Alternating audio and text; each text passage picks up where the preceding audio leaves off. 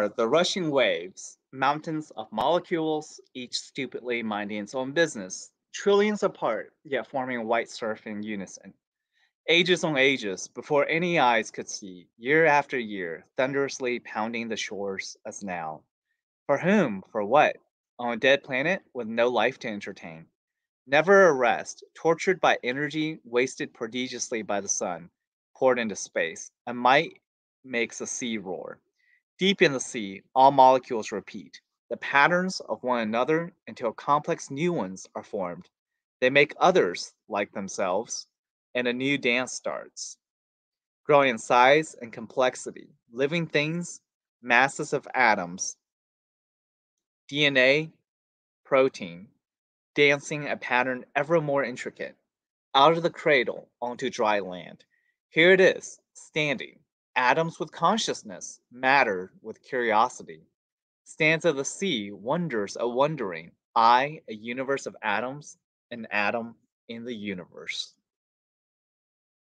Wow, I thought that was a pretty darn good poem. Um, so, who actually wrote it? Wow. Who wrote that? Yes. Who wrote that? Indeed. Um, I wish I could claim credit, but it was not me. It was um, Richard Feynman. Um, Oh, but but wait, but wait, what what is this? yes, yes. What is this? All right. So SG2 on Space, the only weekly space show. Of course, hopefully you're watching it on youtube.com slash at Shingo slash streams.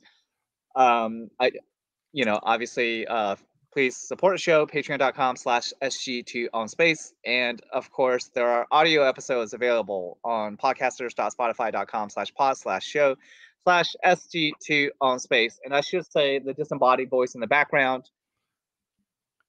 Let me see. There we go. Hey, Shen. Hey, look at Yeah. this guy. All right. So Dr. Leonard Kramer with his um swag on, My headband. as always. I The also have- headband. I also have my peace sign. Also the peace sign. I I just have a beetle thing. That's it. But maybe one day I will get cool enough and get a headband too. How, Um, how's it going? What what are we going to talk about?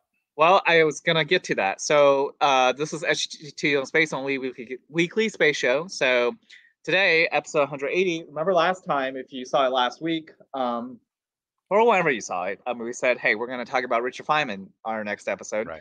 Because for some reason, I think we at the end of our episode we started talking about him. Well, um, that has been a kind of a turn in the in the series of, of of talks. We've been talking about like famous scientists. I think we talked about Maxwell and We did talk about then- Maxwell, true, and we Yeah. also have talked about. Uh, we talked about some other scientists before in the past. Um, well, yeah, um, various various uh, have various scientists, Right. Um, so the you know, at first glance, hearing that poem, you might think, "Oh wow, this guy's actually a decent poet," and he is. He was also an Yeah. artist and, in some ways, a comedian, author, obviously a theoretical physicist. There's quite a lot with uh, Richard Feynman. But um, I'm going to be asking Leonard here questions because Leonard actually has read a lot of his books more Oh, than yes. I have. oh yes, Um, Uh, he's one of my favorite. He's one of my favorite people. Um, So why is he one of your favorite people? Let's Well- start there. Well, um, when I was in graduate school, fir- first of all, you know, he was born in 1917 and he died in 88 or 89. Uh, he he came to uh, prominence around the time of the the uh, uh, to public, you know, public uh, being publicly famous um, around the time of the shuttle, the first shuttle accident, shuttle Challenger, because he was on the Rogers Commission that investigated the accident there, and uh, um, and he actually did have like a dissenting opinion, and there was that sort of thing. We could talk about all that, but the reason, uh, and that was that was about the time I was in graduate school, also, and so we became uh, um, affiliated or understand uh, knowledge about him because he was also he was a great physicist, Nobel Prize winner for uh, um, for the uh, um, you know electrical effect uh, the effect of electrons and electric fields or electric field theory uh, and and um, uh, but he was also extremely gifted um, there he is yeah a very gifted um, lecturer and educator uh, he always wanted to try to to explain things very simply. I mean, I'm sure you we you can go on YouTube and find uh, a lot of of uh, lectures and interviews that he's done over over the years prior to um, his death. Um, but uh, that's why. And so um, you uh have his book, the yeah. Feynman Lectures on Physics. Uh, I happen to guess that we might be talking about him. So so there's this series of books. so I just happen to have them at hand at hand here. Well, uh, the for, for, lectures on physics, and so so when I, these were actually targeted at um, undergraduates at Caltech, where he was a professor. Um, mm-hmm. Uh, and w- they were done in the early 60s and it covers all of physics undergraduate physics uh, from from you know newton newton's um, laws to uh, all the way to quantum mechanics and cosmology and um, and and all that good stuff um, but um, uh, what happened a lot of times was that uh, uh, he'd be lecturing on these. Oh, there it is. Yeah, there's some students. Richard Feynman talking with a uh, teaching assistant. Yeah. After the a... lectures on the dependence of amplitudes on time. Right. Okay. So that's probably maybe that's the Heisenberg uh, equation that they were talking about. And then, I, I don't know. Yeah. April 29th, 1963. Right. So. so they were doing this. This this was a set of lectures that he did, and um, it's like just, I, I, I can't really yeah. So so in the old days they had a blackboard. It was a and they wrote on it with chalk. I don't know. Maybe a lot of our audience has never seen that. Um, we used to have, uh, and so he would write things out Yes, chalk on so, blackboard. Imagine so, that. So, so the thing is, the thing is, it, it's, it's, I, I can't, I, I, I, can't explain it, you know, that well, but you know, he he would explain things very clearly, um, and in a very original sort of manner. And sometimes he was sort of a little bit off base, or in a different kind of direction than the traditional approach to physics. Um, not not a not in a bad way, really in a good way. But um, I think that it kind of he didn't connect with the undergraduates. Undergraduates, you know, right. the first four years. So I think he probably didn't connect with them as well as he did with the graduate students. And so a, a um, uh, a story that I heard was that he would start the semester and he'd have all these undergraduates in the class, maybe 120 students in the lecture hall. And so as the as the semester wore on, the students would would drop out, but then graduate students who were more advanced, you know, people working on their uh, masters and PhD, would come in to sit in on the class, and so he never knew that the class was that everyone was dropping the class, right? So so ultimately, you know, I think I think from the from the university's point of view or the physics department's point of view, it wasn't really that successful as a as a um, undergraduate course but the lectures the lectures are are are cherished by um, people with uh, people who've been to graduate school to study physics like like I have and and uh, many of my classmates from that time will will uh, will would be able to hold up their copy also and so it's just it's just you you uh, you go through there and you you he, he just makes you understand it and he has these simple drawings he's a he seemed to be a very good artist he could draw yeah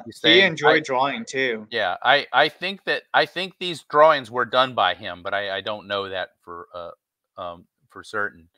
Um and so you can see he covered things like how how does water evaporate from a surface and um and i mean and, just like yeah. it's the enthusiasm there is is pretty interesting too.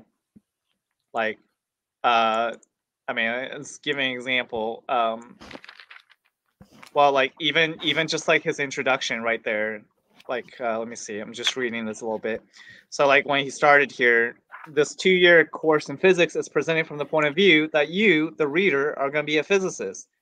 This is not necessarily the case, of course, but that is what every professor in every subject right. assumes. Yeah. If you are going to be a physicist, you will have a lot to study 200 years of the most rapidly developing field of knowledge that there is. So much knowledge, in fact, that you might think that you cannot learn all of it in four years. And truly, you cannot. You will have to go to graduate school too. Yeah, and then, you and then it goes on. Try try uh, chapter 19. Can you get to chapter 19? Because we talked about the principle of least action. Uh, is that no? Chapter maybe it's chapter 19. Which He book? Maybe the second second uh Wait, let me see. Read. Uh, or maybe this second book, edition maybe? just doesn't carry it. Maybe this yeah, volume 2. Volume 2. many electromagnetism and yeah, it is. It's right here. Chapter 19 19. Oh, look at that. that looks beautiful. So I I really enjoyed this lecture. It was almost like a lecture where he was taking time out, and um, and so he starts out. You know, when I was in high school, my physics teacher, whose name was Mr. Bader, called me down one day after physics class and said, "You look bored. I want to tell you something interesting." And so that that's what he was he was I think I think that that the students were looking bored, and so he decided to tell them. And he says, then he told me something which I found absolutely fascinating, and have since then always found fascinating. Every time the subject comes up, I work on it. In fact, when I began to prepare this lecture, I found myself making more analysis of the thing. Instead of worrying about the lecture, I got involved in a new problem, and the subject, the subject is, is, this: the principle of least action. Least and so action. He's got some neat, nifty uh, drawings about. Remember, I think last time we talked about how um, the uh, the um, uh, the this is the Lagrangian formulation where you if you take the the the potential the kinetic energy and subtract the potential energy as expressed in the in the appropriate coordinates then then the integral of that along a trajectory there he he drew a trajectory you know the actual motion is the minimum and so actually you can, you, you can scroll down and let's see what else he has to say so he says see there there could be any kind of motion and you see it it, it kind of like it kind of has a little edge to it you know where he's, you know, he's just- drawing an imagined motion but of all of the all of the different um, um paths that are taken by a particle between two points the one Mhm. that the one that exhibits the least action um, is is the is the one that fit, that nature uh, causes it to, to follow and so anyway this this actually is one of my favorite chapters in the I mean, so definitely it explains it pretty well. In other words, the laws of Newton could be stated not in the form F equals ma, but in the form that the average kinetic energy less the average potential energy is as little as possible for the path of an object going from one point to another. If you Right. take the case of gravitational field, then if the particle has path x parentheses t, so x with respect to time, uh, we take a trajectory that goes up and down and not sideways, where x is the height above the ground, the kinetic energy is one half m Yeah, squared, and the potential energy at any time is mgx. Now I take the kinetic energy minus the potential energy every moment along the path, integrate that with respect to time from the initial time to the final time. Let's suppose at the original time t1 we started some height, and at the end of time t2 we're definitely ending at some other place. Then the Right. integral is he writes it like this: the actual motion Yeah. is some kind of curve. It's a parabola if we plot against the time. Uh, So gives the time anyway, value of the integral. anyway it's a completely original kind of thing uh, most undergraduates uh, don't get this you know but but when he's speaking to the graduate students it it's it's just a it's just a tremendously useful resource. You know today we've got the youtube videos and i'm sure the students are all using the youtube videos uh, to to un, to learn stuff um, but uh, this is what we did in the old days. So so what he did okay so so he went to graduate school i think starting in 1935 and then um it got his he was working on his phd and then the war came um uh, several years later he was working during that time um and uh um um he got sent to princeton uh, I mean, I mean, he got sent to Los Alamos, and he tells all kinds of funny stories about uh, the war, about working on the atomic bomb, and um, how he would play tricks on people. He learned how to pick locks, and and he would he would he was just a he was just a very annoying character um, from from what I from what I Annoying character. Yes, he he But- he yeah. Um there there he he must be he must be about 20 years old in that picture. and so I don't think this is a mugshot, but it's that does look like but, one, right? I mean, he seems too happy to be in a mugshot. right. So Um, he, so you know, this he, was so, working on the Manhattan Project. so what they had him do was he was working on one of the one of the ways of separating uranium 235 from from natural uh, uranium, you know, uranium uh, metal that, that is refined. Um, uh, the the uranium came in two. There's really two flavors. Most uranium is 238, which is not fissile. Eh, that will not that you can't use that for an atomic bomb. But uh, the, it's the it's the it's the lighter um, Right. version of uh, isotope of uranium called 235 and so it's a very because it's chemically it- they, they're chemically they're identical separating them is a very hard thing to do and he worked on a on a um, cyclotron method where they would um, vaporize the uh, the the the metal the uh, uranium metal and then run it um, make an ion turn it into ions and run it around a, a uh, magnetic field so that the heavier elements would would execute a larger a, a wider arc than the lighter ones. No i have that wrong no you know i have that right and so you could collect them in that way but they turned it turned out that that was not the method that the the the army um, uh, selected. But he worked. So there's some very famous guys that he worked with. Um, but he was not famous at that time. But he did know all these guys, and he got to meet Einstein. Not not in not in uh, New Mexico, but so he has a lot of stories to tell about that. Um, he said uh, he said that he he somewhere you can find uh, an account of him.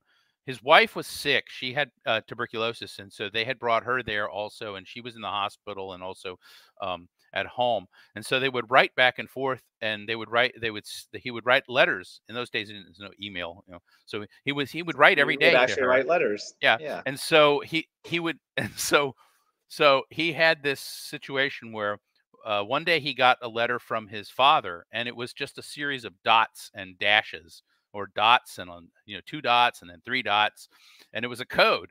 And so they weren't allowed to communicate in code but this was something that came in from outside and i have a feeling that his family this was from his father. This letter was from his father. I, I think that they were just trying to you know perturb the system sort of be they were they were being mischievous about this. And so they brought him in and said what is this? And he says it's a code. He says well what does it mean? He says i don't know. He says well we need to see that we need to understand what you're doing. You can't be writing in code. He says i don't know. It's just that this this is what we do in our family is we write we send codes to each other and see if we can figure out what it what it means. So he he made it like it was a regular practice and so he kept this this the uh, censors um, busy uh, or off base a lot of times. And so he has all kinds of funny stories about that and and so it's it's it makes him very endearing and people people should should uh, you know go on youtube and see if you can find some of the lectures and and interviews with richard feynman so uh, there's one where he's just talking about magnets and the the I, english and- I I just realized I muted myself and I was asking a question and then then nobody Yeah, and- heard anything. and i didn't know I, I i was just ignoring you and yeah It- it's it's fine to ignore me. yeah. Is this one example? that must be one of the examples and so he, they they had Short ciphers by unnamed scientist in Los Angeles. The first was. I don't know. so so you know and it turns out that he you know he did actually as a child he was kind of a prodigy as a as a uh, in mathematics but he he wanted to know how the world worked and the role of imagination and one of the stories he tells is um an artist friend of him a, a friend of his that that was um, an artist sort of criticized him for saying you know you physicists you know all you know is the mathematics and you can't appreciate you know the the the beauty of a flower for example. And he repo- you know he he rejoin he, he answers that by saying well wait a minute you know i can enjoy the flower and i can understand it but i also know that you know that there's chemistry involved and that the physics of you know and then that that um the flower has has you know certain biology and and and you know he he points out that he can understand he can appreciate even more there's even Yeah. more to appreciate the the beauty that he sees available you know, and so he has available because he's a scientist. He has available He's- to him, you know, the appreciation, appreciation, and he really I, did. I, I agree with that. I mean, Yeah. like, so it like, um, as, although I may not be quite as refined aesthetically as he is, he describing Richard himself. Feynman's friend. yeah. I can appreciate the beauty of flower. At the same time, I see much more about the flower than he does. I could imagine the cells in there, the complicated actions inside, which also have a beauty. I mean, it's not just beauty at this dimension at one centimeter.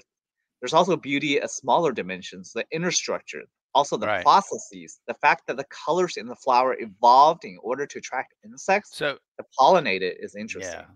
So he had to have been a great guy. I mean, just uh, I had heard that you know he did have an ego, but somehow he could make you, uh, uh, you know, he, he could make you feel comfortable um, with and and uh, um, but um, you know that that he's sort of uh, he's sort of a a He's curious also- character. I mean, he was also like a artist too, right? I, I don't doubt that he had interest in in everything. So Yeah, this is yeah this is this, is what he's talking about. Um there in one of his eh, he has three popular books that people can can uh, pick up um I, I can't tell you the name one of them is surely you're joking mr feynman and that's his experience uh i think most of that experience is in graduate school and working on the bomb. Um and then um uh he has he has uh one book where he writes about the um uh the pleasure okay um the the uh i don't know i don't know about the pleasure of finding things out but that that's typical and the character of physical law so these are popular books that you can pick up i have a book um called qed which is about quantum electrodynamics the thing that he really got the nobel prize for and you can read it you know you don't have to be a you you can read it and and you'll understand you don't have it. to be a He- you don't he- have to be a physicist to he- understand he it like this he one. in- yeah he there there it is. It, it he invents a way of describing complex numbers without using any math. He just has little arrows and the little arrows rotate around. And and so it's a wonderful i, I really recommend that that book. Um, i have one i have it around here somewhere and you have this one, so- the QED, the yeah, matter. so, and a few of these others that surely you're joking and then there's a the I, I don't remember which of these where he talks about his experience with on the rogers commission with the I think it was this one. What do you care about what other people think? Adventures of a Curious Character. Yes, I have that one around here. Yeah, I think that's the one where he he does Uh, near the end. he's- Time, time alchemy and Vista. So what Mhm. did he do with the Challenger disaster? Well, he uh, so the story about the Challenger disaster was that um the Challenger uh was destroyed on takeoff. I don't want to say it exploded, but it was Mhm. destroyed uh because the because the solid rocket boosters, if people know about the the um architecture of the shuttle was there was a main fuel tank and then two solid rocket boosters and then the main orbiter vehicle had engines as well. And so when it would take off these solid rocket boosters were giving it the main impulse for getting um, up out of the atmosphere. And so um, um, the the solid rocket boosters were built in segments and using o-rings. O-rings are like a rubber kind of material.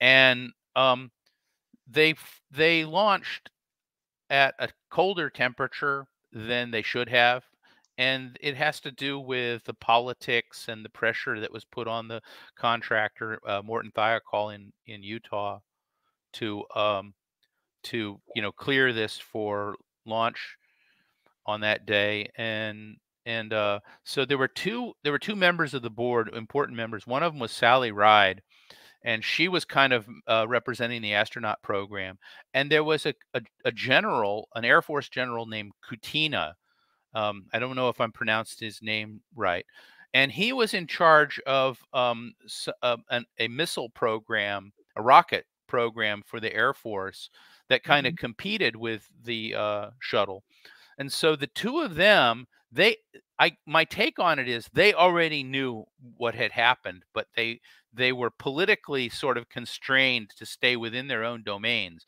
So they brought um, they brought Feynman in to be kind of like a a non-advocate reviewer, so that he didn't have an axe to grind, he didn't have any politics, and he was well known as being, you know, um, a a curmudgeon, a person who would just get to the facts. And so um, that's what he did, and and uh, uh, he he uh, actually he was sort of off task for he went down to Marshall Space Flight Center and he's he claimed I found out what happened the engines exploded and all this stuff and and so they had to call him Kutyna had to call him back and say no no here I want you to go over I want to just suggest that you go over and look at these O-ring things. Oh, so so it's it's like the, yeah, Sally Ride and Kutyna they already they already had a pretty good idea about what happened, but they they needed to have somebody non-advocate to to uh, Right. confirm. And and on YouTube you can there's there's there's the the the hearings, you know, the public hearings are all uh, on there for you to listen to, and you can hear the engineers from Thiokol, you know, talking about the pressure that they were under to um, to clear this thing, and and they didn't explain it very well, and all these kind of things that were going on. But what happened was that these O-rings they lo- lost elasticity, and they were and so they were supposed to stop the gas, the hot, the high, the hot high pressure gas that's in these rockets from Mhm. escaping out through the sides. And so that was the solution that they they used. And so they had separate segments that they could put together, and they were sealed with the O-rings, right? And so when on on this day in January, it was very cold in Florida, uh, 27 degrees. There was ice everywhere and and all that stuff. Um, and and and so the the the contractors were saying we don't think you should fly, but then they said go sharpen your pencil and see if you can clear it. And they weren't sure. They said we don't really think this is a good idea, but then they flew anyway, and there was an accident, and every and and all the the entire crew was killed. Um, and so uh, um, they had this the the the Rogers Commission was the investigation that led to this.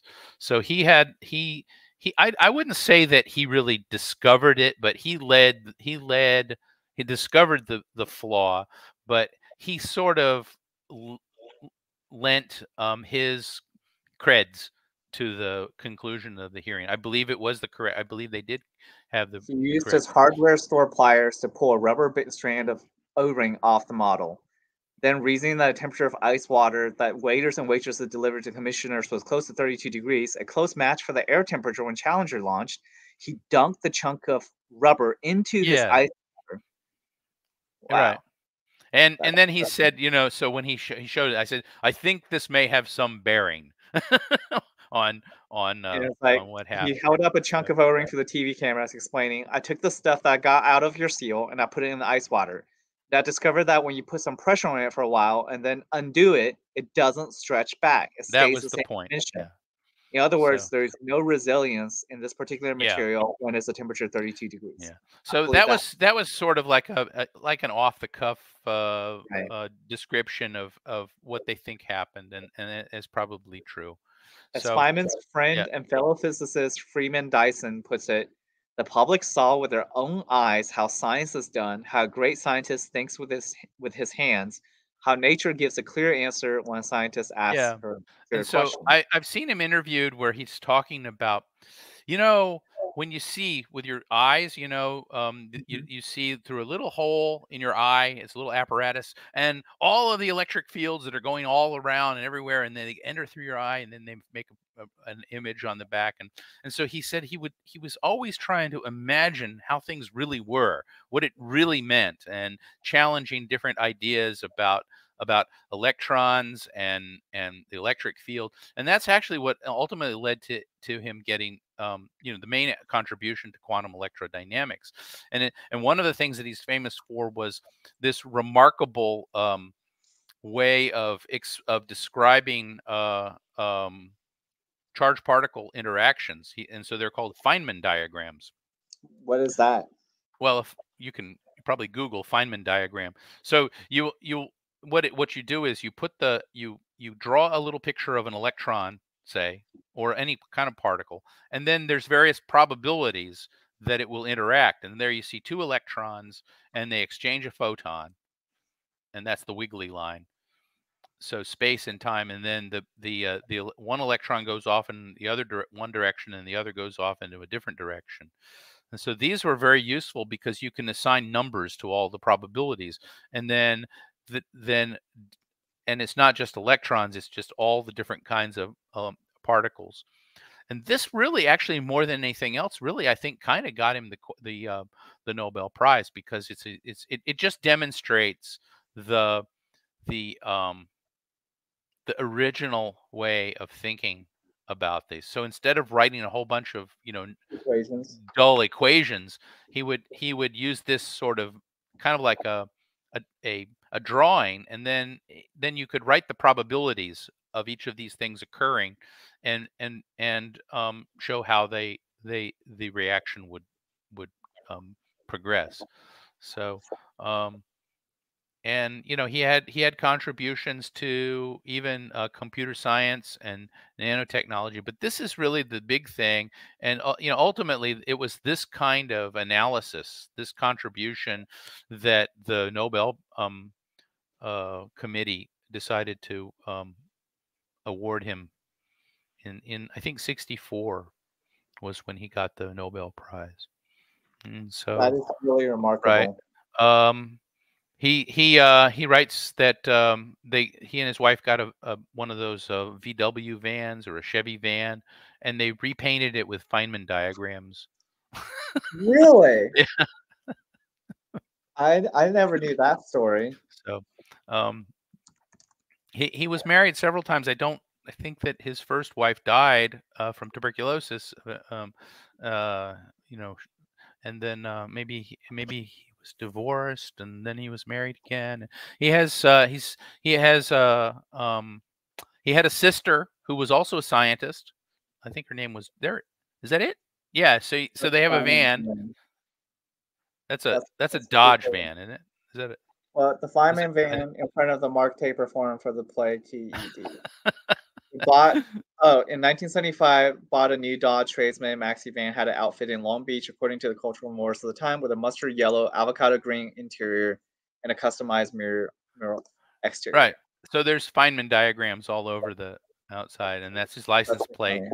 Quantum. which is pretty funny. So he gives you an idea. So um, he has two children. I think um, his, I don't remember their, uh, I don't remember their names, but but um, his daughter is some kind of photographer, and I believe his son is is in the technical field. I don't know if he's a physicist or or what. His sister was a was an astronomer. I think her name was Joan Feynman, and uh, she died in uh, about about five or six years ago.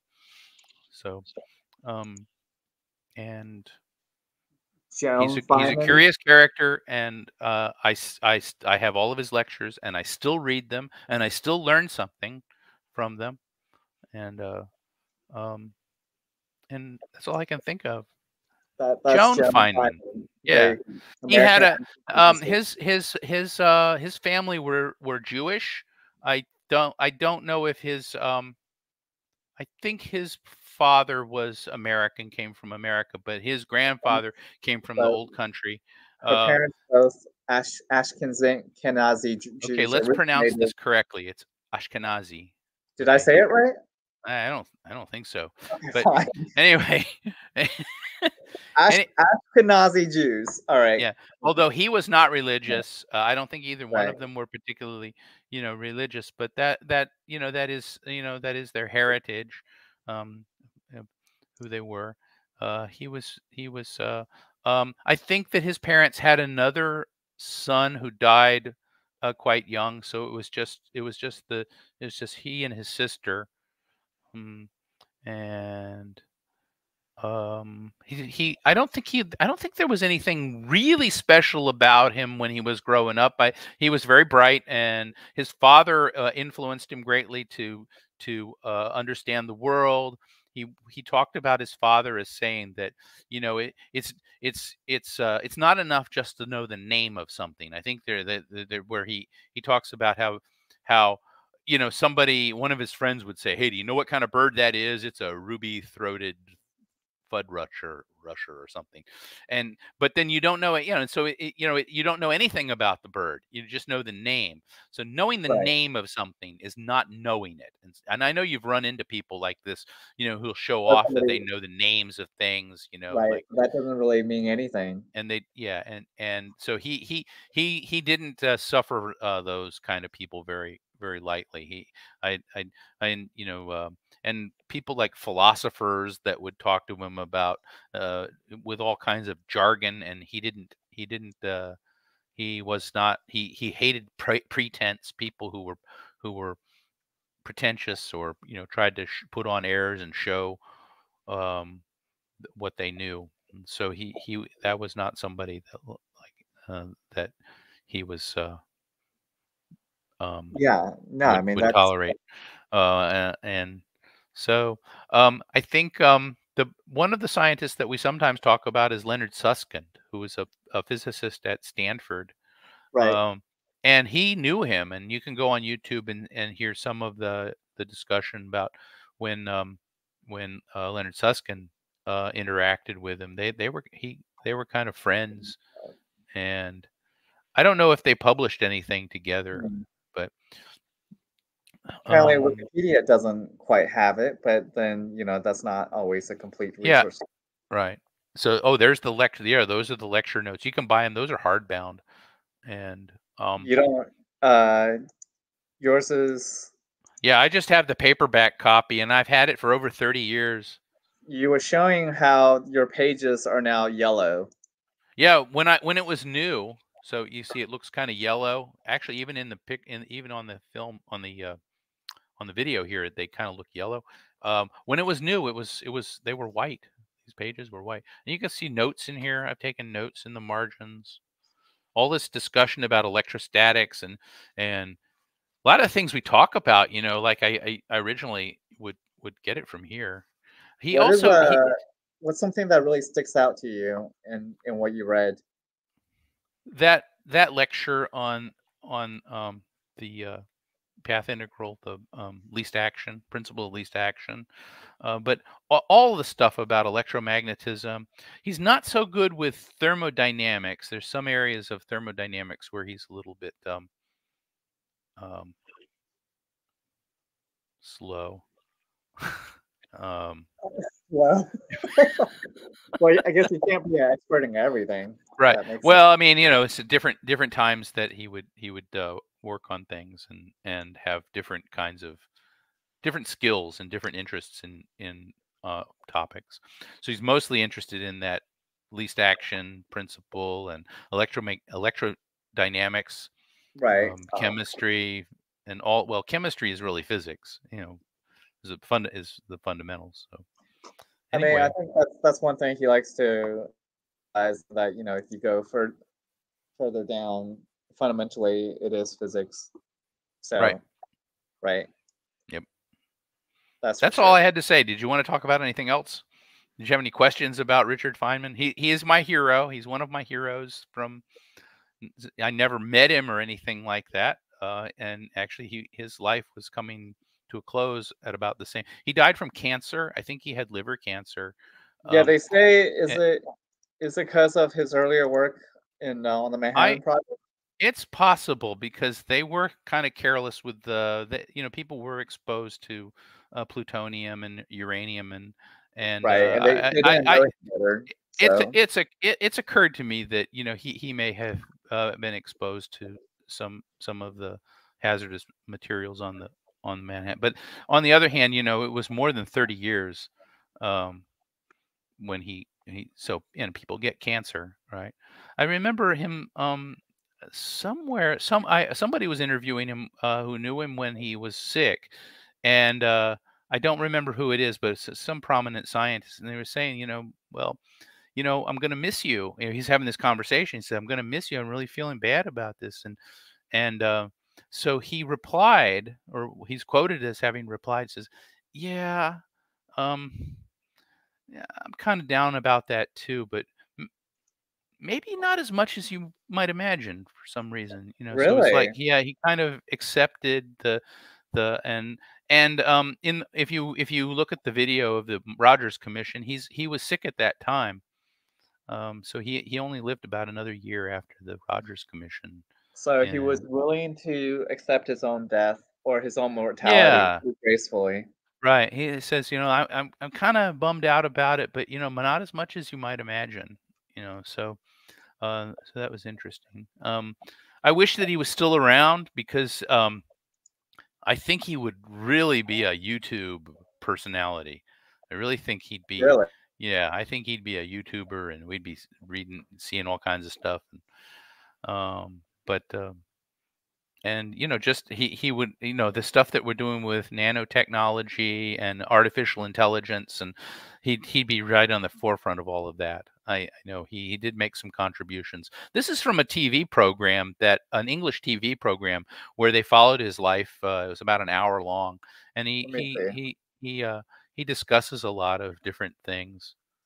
This obviously so, has no sound but are you saying they followed him around for a little while? Well, they did a they did a study of his. You know, it was it was about him, uh, about his life, and and uh, it was in the early seventies. So he he was he was late fifties right. or mid fifties in this, and he would you know he talks about magnets and you know and you're asking a why question, you know, so you know so it's uh Anyway, how come we don't have sound? Uh, because I'm sharing a window and not a tab. Oh, But honestly, here, let me see. Unless you hear anything. Do you hear anything? barely. No, it's not. Oh, It's that's okay. okay. I will. I will. Anyway, I. Uh, That's what I have to say about Richard Feynman, and I'd, I'd uh, encourage our audience uh, to go out and look him up on YouTube and and and if you're really into physics you have to get the if if you want to study physics you need to get the feynman lectures and then maybe take a class and and learn the stuff because it's how the world works so to understand it, do you feel like you have to understand? Do you, can do you have to do you have to have some background well first? well the feynman lectures are not books for popular um they're they're they are for serious study of physics right? Um, if you want to be entertained and you want to learn you can still learn things you can get his book on qed and that's that's what he won the nobel prize for. And so it's it's such a remarkable um, um, you know re- it's it's such a remarkable work that you can penetrate it very easily without knowing a lot of mathematics or anything like that. He, he just had this i don't know just this this talent for being able to explain things and he i think that he he would say you know if i can't explain something to a five year old I don't really understand it. then i I don't think really understand it. about the quantum mechanics actually, where he realized he didn't couldn't he, under he couldn't explain it in that level. qed he does say he does say that. He says look you know you're not going to understand this. It's okay i don't understand this right? And so it's not so much they don't understand it is that there's just a great deal of discomfort with with the conclusions you know the idea that there are stochastic things going on and the prob it's the probability that's being followed. So it's it's a it's a very unintuitive um, kind of thing. And probably uh, the the sort of thing that his kind of mind um, sort of could get a handle on because he had this he, you know and the importance of imagination people don't think of physicists as being imaginative right Uh, but really? yes i mean that's that's sort of like a thing well you know you're a nerd you know you you Well, think with yeah. your right brain you're you're not a left wait, brain no, no, you know no. People say you think with your your left brain, right? yeah whatever it is you know i Yeah, i yeah, i, I don't know that there's anything to that Okay. but Yeah, but you know yeah. so oh and another thing okay one other thing so you know he he didn't um he he liked to talk about the what it means to know something you know so remember we said something we said that you know knowing the name of something is not knowing it and so there's a story he tells about where when he was in graduate school um and what's this I'm oh just putting down Oh, this okay, yeah. piece of So he said, you know, they, they used to have these things called a French curve, right? And it's a piece of plastic, and you, and if you're plotting gra- plotting data, you can use this curve to fit it and then draw a line manually. And so somebody was asking him, one of the other students was asking him, you know, what what is the equation for this curve that you have for Mhm. the French curve? And he held it up and he'd say, um, you know, he held it up. He held it up and said, "Well, it's a special kind of curve that the tangent at the lowest point is horizontal, right? So, so if you take a curve, imagine a curve, right, Mhm. and then you you take a, a straight edge and you you bring it up from the bottom and you touch it.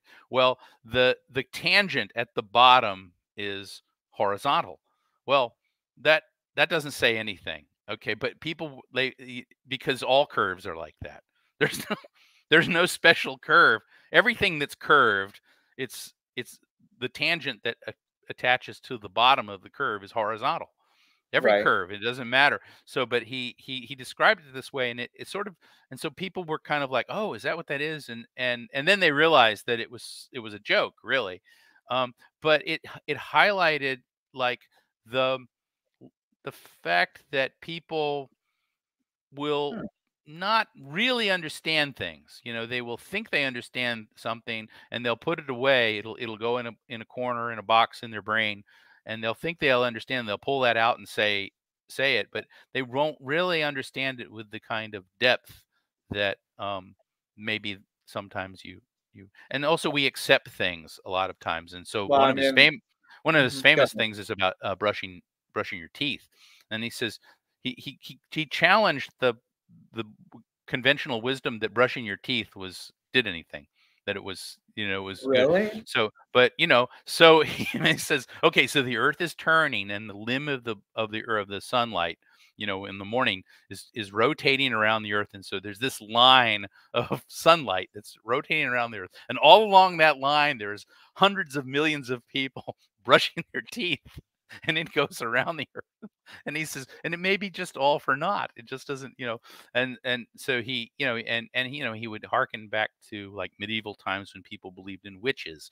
or they believed in all kinds of you know and so we we laugh at them and we say you know or we we we sort of you know um don't think much of of people in ancient times who thought of so weird things but what are the we're the same people we're the same species we have the same I mean, now apparatus our conventions are different. Like, well, I mean, like you brushing your teeth, for instance, it's it's assumed that that's what you're supposed to Yeah. do. And so so he's just saying, you know, I don't know of any research. I haven't seen the research. You go to the you go to the dentist, they'll tell you to brush your teeth, but they don't know either, right?